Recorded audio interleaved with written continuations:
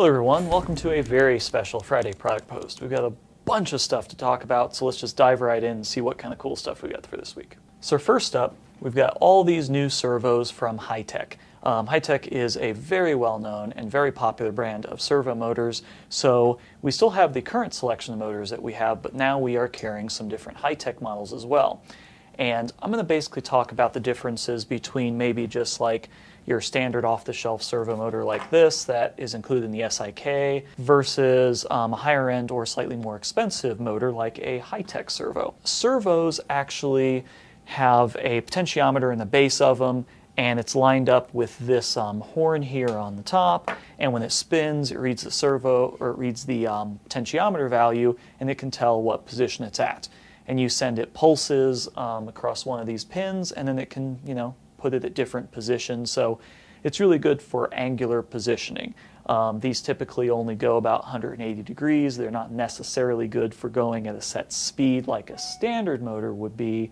They're just good for directional positioning. The main things that you should be looking for in a servo is going to be the size, the amount of torque it has or the amount of power it's going to have in its sweep, and then you're also going to want to see the voltage range. Most all the servos we have are 4.8 to 6 volts, somewhere around there. And then you're also going to want to look at the um, range of motion. Some are 90, some are 180. There are some that are a full 360. And in addition to that, you've got other features such as metal gears, and I'll explain that in a bit, and then also ball bearings. And once I start taking these apart, it'll become kind of apparent the difference between those. So starting with this guy, this is the HS85MG. To give you a comparison, this is um, about the size that comes in the um, SIK. This is the smallest servo that we have so it's a little bit bigger than that. So this guy, for the size, is about 42 to 49 ounce inches worth of torque, depending on if you're powering at 4.8 or 6 volts. And it comes with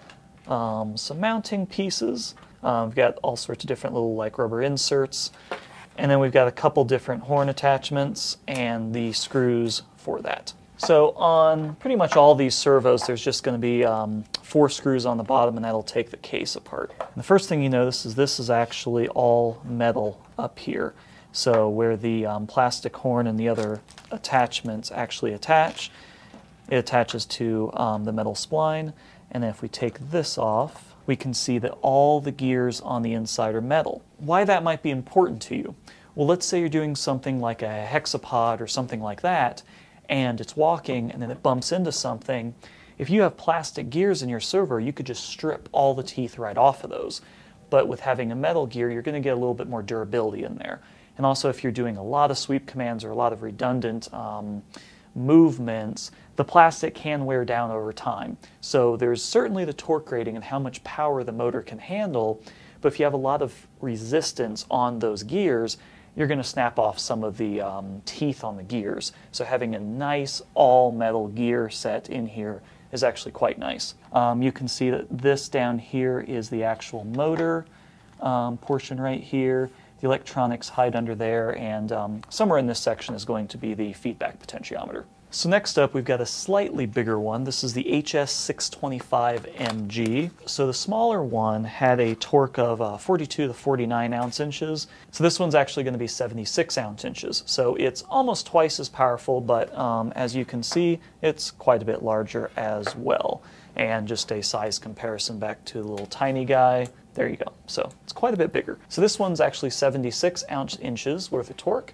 Um, this is a 180 degree servo. And here are the accessories for the HS625MG. So we've got a sweep arm, this guy, that, and then this. So we've got quite a bit more options of attachment um, for the bigger one. This does have almost all metal gears. It doesn't have 100% metal gears, but it does have dual ball bearings on the shaft. So I'm to take the um, bottom off of this first. So you can see quite a bit um, bigger motor. Um, there's your board and we've got the pot sitting down there. And then if we pop it open, we can see that it looks like um, this guy down here might be a plastic gear, but the rest of these are all metal. So still a lot nicer than um, you know an inexpensive all plastic gear motor. You can see the little stop here. Um, if you wanted to take that stop out, then that could turn into a um, continuous rotation motor. And if we look at the top of the casing here, we can actually see some nice um, ball bearings inside the top there. So you have this motor, right? And you're going to have some sort of um, load on top of it. Now, if you know we have just like a cardboard box that we're moving around, there's no real load, you know, or weight on this. But let's say we have something really heavy, or maybe something cantilevered out like that, that you know is going to pull it down having some nice sturdy ball bearings at this main output shaft gives you a little bit more durability. If you didn't have any bearings there, then you're basically just rubbing on the plastic. So ball bearings on the output shaft, high quality. So moving right along, we've got the HS425BB. And as the model name would indicate, this is ball bearing, but it is not metal gear. So if you're looking for um, you know, standard servo size, um, this guy, to give you a comparison, it's roughly the same size as the last one we talked about. And this guy comes with this little accessory pack. So there you go, just some um, basic mounting hardware and stuff. 425BB is a very popular one by Hitec. It's relatively inexpensive. It's just kind of a nice all-around good standard size motor and it does have ball bearings but it doesn't have metal gears. It does have um, nylon gears instead. This one's going to have an output torque of about 46 ounce inches, so um, certainly not as much torque as the bigger one here, and it is 180 degree, and like I said, it does have ball bearings. Now, if you don't actually need the full ball bearings and need just, you know, an even simpler even more inexpensive motor, we've got the HS422. Um, this one is very similar to HS425, except for it doesn't have ball bearings. It is almost identical in size, and its torque rating is also 46 ounce inches. So it's got the same torque rating. The main difference between this one and the 425 is this one does not have the ball bearings. And so the HS422 comes with these parts. So pretty much the same parts assortment. Um, it comes with the 425 uh, minus this guy. I'm going to crack this open and show you what it does have in place though. And the first thing you can notice is this is actually plastic. And if we pop this off, see all plastic gears. And if we look in the top, we've just got just a metal insert and then we've just got a little ring here. So that substitutes for your bearing um, rather than actually having the ball bearing racetrack thing that um, the others have. Once again, if you're trying to do like a hex pod or something like that to where it could run into something and you could bend back one of those legs, you might get some stripping or you might get some performance issues if you're using all plastic gears. You might want to go to a metal gear. And lastly, we've got the one that everyone's probably been eyeing. Um, this is the HS805BB. So it is big.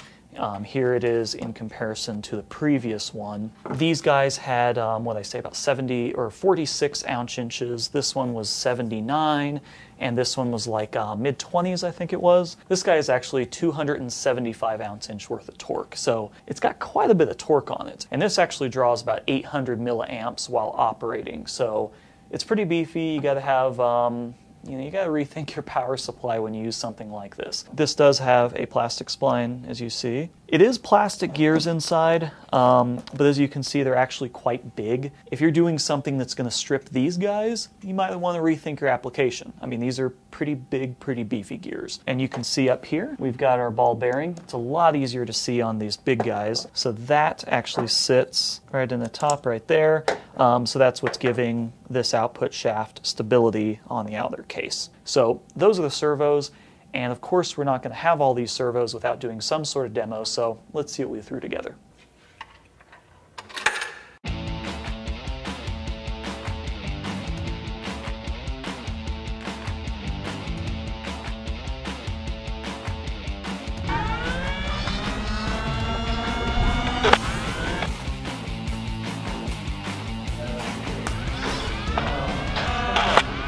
Took the biggest of the new Hitec servos and decided to find out what we could do with them. We decided that they were the perfect size and speed to do something like swing around a Nerf gun. So we built the Nerf Atrium Defense System. This allows you to harass your coworkers who are coming up the stairwell in the atrium of the office by inserting coins which buy you time on the turret. While the turret's in operation, you can use this joystick to aim the gun around the atrium and then fire Nerf darts at people as they're, um, well, trying to come back to work from lunch. You uh, insert coins in the coin slot here, and this is our six coin acceptor, and it tells the Arduino that it's time to start the timer when the gun starts functioning, it spins up the flywheels inside the Nerf gun and then turns on the servos so that you can actually operate the turret. And then for every cent that you put into that, you get two seconds of turret time. And that doesn't sound like a lot, but it scales up pretty quickly. For instance, if you drop a quarter in here, you get 50 seconds, almost a full minute of time on the turret.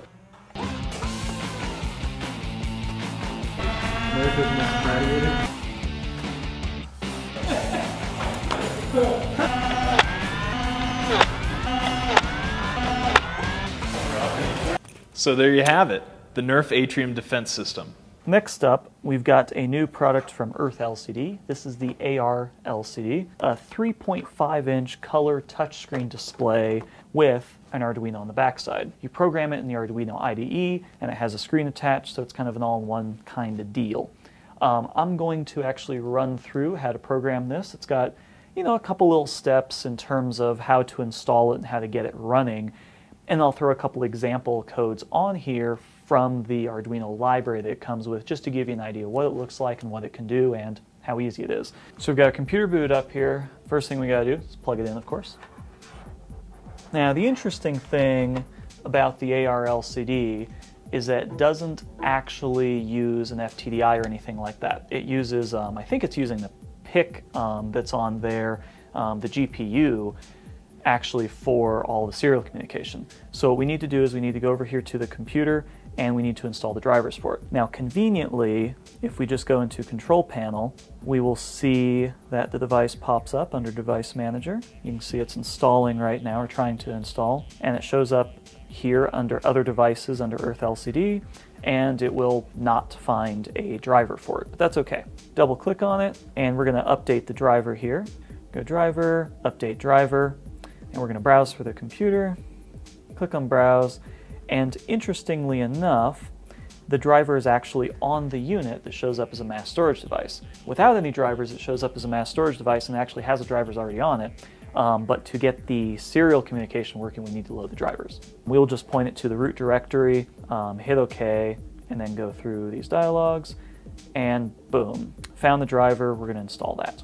So now this will allow us to see this in Arduino, um, and then we can load code onto it. Um, so we're going to close this out, close that out, and you can see it is recognized and we're on COM5. So we don't need to be in Device Manager anymore. So we're going to close all this out.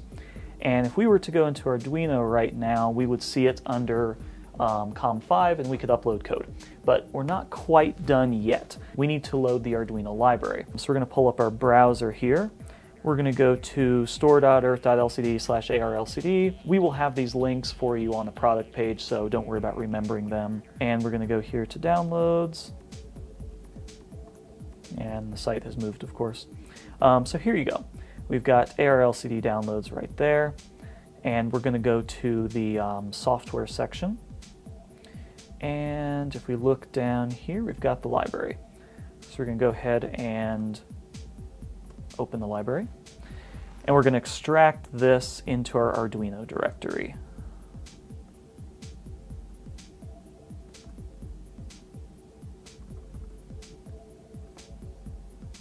So Arduino, libraries. Let's go ahead and extract that. There we go. ARLCD is right there. So now we can close out of all of this and then let's go back to the desktop and load Arduino. So let's load just the basic um, demo sketch that comes with this. We've actually already played with this one, so what you're seeing is actually something different than how they come. We're going to load the basic um, example sketch on it. And so we'll just go down to examples, ARLCD, and then we're going to do ARLCD test. We're going to select an Uno, which it is selected, and then we're going to select COM5 and upload. There we go. So this is the um, basic demo it comes with. We've got a little slider here. Um, you know, we've got some different buttons. So there you go. Now let's um, load something different on here. I actually like, if we go into examples, and then do this analog meter. Uh, first thing I'm going to do is grab a breadboard and um, a potentiometer so we can actually um, have a potentiometer that interacts with the analog meter on the screen. And so I'm to use analog zero. We're going to hit upload. So now we've got this sketch uploaded and you can see that this is actually um, corresponding to my knob. So I can turn it like that. And there you go. So pretty simple little demo here. And if we look back over at the code, I'll make this a little bigger, you can see that there's not a whole lot of code going on in here. If you're at all familiar with um, doing any kind of graphical interfaces, especially on a color screen like this, they can be very complicated. Really, there's not a whole lot going on here. We've just got the LCD um, initialized here. We've got soft serial and some other stuff um, as libraries. Um, and then if we look down here, we've got the position, we've got the width, the height, and a couple other things, and then that's about all. We're just doing like an analog read on it, um, storing that value and displaying it. And we can do something simple like put this at zero, um, put this at zero, and then I'm gonna make it the full width of the screen, so 320, and this is a 240 pixel high, and we'll just, this should fill the whole screen and be centered in it. So we'll go ahead and upload that. There you go. So it's that easy and um, we can change certain aspects of it. Like down here, it's labeled A log zero. Let's just name this Greg for a videographer because he has to listen to me all day, every day. So there you go.